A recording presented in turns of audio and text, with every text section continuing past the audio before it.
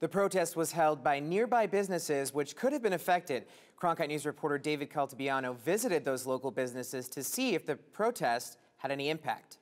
You know, it was actually a lot smaller than I thought it was going to be. There was uh, almost more media than there were protesters. The Corner Bakery Cafe served customers without any disruption from the protest. It hasn't really affected my business at all. And uh, like I said, the protesters were very respectful. I, a few of them came in here and uh, got stuff to eat and drink before the protest started. And nCounter also had the same prosperity. Well, from the looks of this popular breakfast spot, you wouldn't think that was a protest happening earlier this morning. Matter of fact, one employee of nCounter told me that it's still business as usual.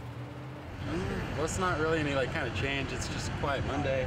And the protest didn't stop people from eating outside. Nothing too loud, nothing rambunctious or anything like that. Not that I expect that, but yeah, it's just a normal Monday. In Tempe, David Caltabiano, Cronkite News.